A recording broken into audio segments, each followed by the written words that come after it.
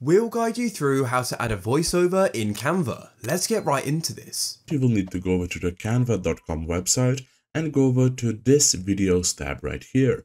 Select it. Now once you select it, select the correct video format that you want to use. I'll just use this one. And once you get in here, you will need to upload your video on the left by going over to the Uploads tab, then press the Upload Files button right here. Then find the video that you want to use, here is mine, and wait for it to upload. Once the upload is finished, you can just drag the file over to the blank canvas and add it like that.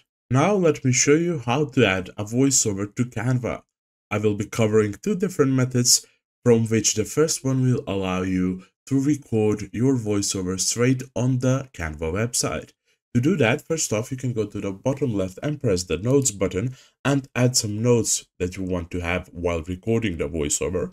As you can see, I have already added some. Then after you do that, go to the top right and press the share button. Then scroll down and select the more button at the bottom. And once you get right here, select present and record.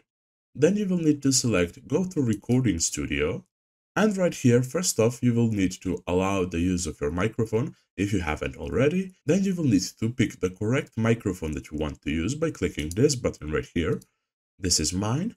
And once you're ready to start recording, press the start recording button. Now you have a countdown. This is an example of a voiceover and you can also pause your voiceover while recording or end the recording altogether. Now let's end it. Now once this is finished, you can download the video straight away or just save and exit so you can edit it further. I select that. And once you get back to this website right here, go over to uploads once again, go over to audio and find the exact audio that you just recorded by looking at the timestamp in the title.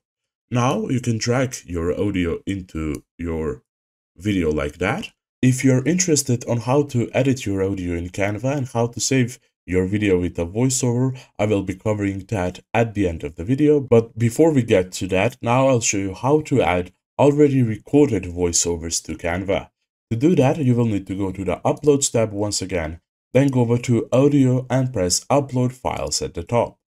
Then right here, you will need to find your voiceover audio that you have recorded previously, select it and upload it. Once the upload of the audio is finished, you can drag it into the voice track and you will have successfully added a pre-recorded voiceover. Now to edit the recorded or added audio on Canva, you will need to right click the audio and then you can add Beat Sync, you can add audio effects such as fade in or fade out, and you can also split the audio using this option right here. To split it, you will need to position this slider right here in the exact part that you want to split it in, then right click and press split audio and now you can move the split audio anywhere you want in the video. You can also delete your audio track by right clicking it and pressing delete track. And last but not least, you can duplicate your track by pressing this button and you will have two of the same. Now to save your video, go to the top right and press the share button, then press the download button and under file type choose the correct file type that you want to use but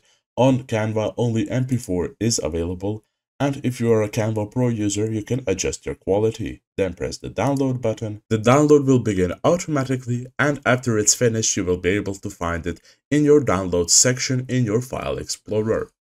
That is it for this video. I hope we helped. Thank you for watching and see you in the next one.